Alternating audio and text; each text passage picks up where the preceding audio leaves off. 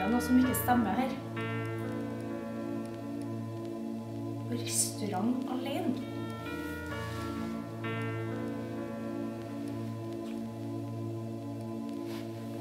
Jeg vet hva morderen er. Look. If you had one shot. Åh, nå? Nå er det på å dra hjem.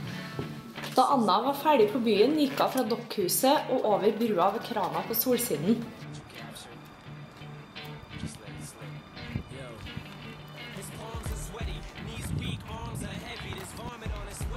Hun gikk så langs Solsidenrekka, der Kåre Janni satt med en jævla sigg i handa. Hun passerte deretter sossen Audun før hun gikk inn på Fresh fastfood i det treningsnarkomanen Mathilde jogga forbi.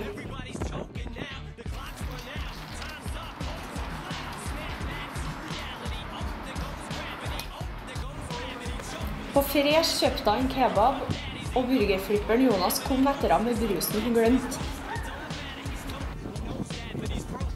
Hun gikk så bort til åstedet der hun ble drept. Så hvem er det da som er morderen? Den eneste som ikke er gjort rede for da, er Knut.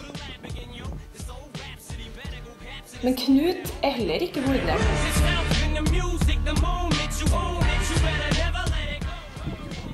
For Knut var ikke ute og spiste alene, som han sa på intervjuet. Knut var ute og spiste middag med kjæresten sin Lovise. Si om når du er på date. Nei, jeg ville bare.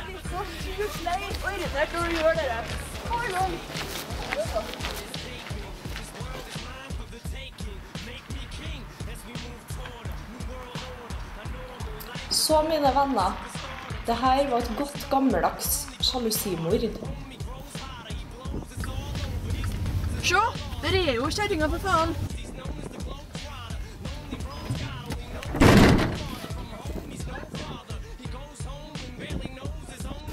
Louise, hva har du gjort? Vet du hva? Det der var helt fortjent. Det syns jeg. Nei, vet du hva, jeg slapp deg av borti her, jeg. Så bare går jeg tilbake og ser hvordan det gikk. Så blir jeg så litt utdatt. Dette skjønte jeg da jeg la merke til at Knut sin historie ikke stemte, fordi han var ikke ute og spiste alene. Han ble observert i bilen med ei anna dame samme kveld. Jeg ble helt overbevist da jeg hørte at Anna var eksen til Knut. For å si det sånn, det var ikke akkurat en sak for kriminaletterforsker Jevovic.